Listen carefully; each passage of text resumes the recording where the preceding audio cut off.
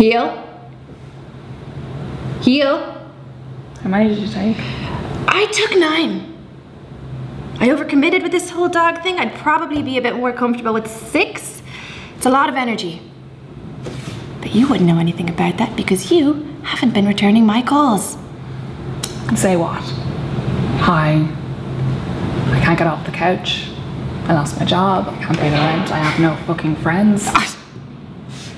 You know what I find interesting about that, Annie? How you have absolutely no friends. You know why I find that interesting?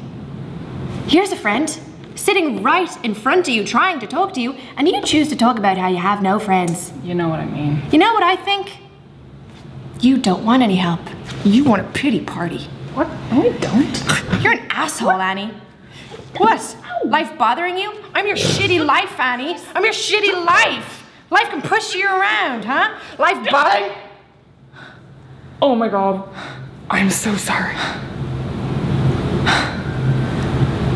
I'm not. Nice hit. Glad to see that little bit of spark in you, Annie. Knew you had it in you.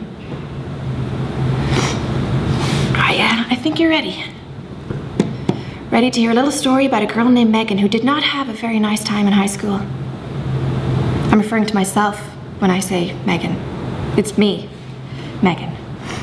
I know you look at me now and think, boy, she must have had a breeze in high school. Not the case. They used to try to blow me up. They threw firecrackers on my head, literally, not figuratively. They called me freak. You think I went home crying to mommy? Oh, I have no friends. Oh, oh. I did not. You know what I did? I pulled myself up. I studied hard. I read every book in the library. And now I work for the government. I have the highest possible security clearance. I know where all the bombs are and I know all the codes. Do not repeat that. I cannot protect you.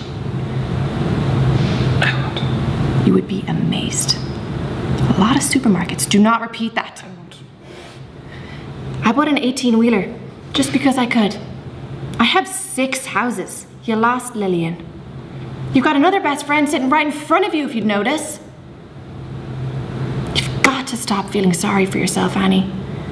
I do not associate with people who blame the world for their problems. You are your problem. But you're also your solution. You get that? Yeah. I just missed her, I guess.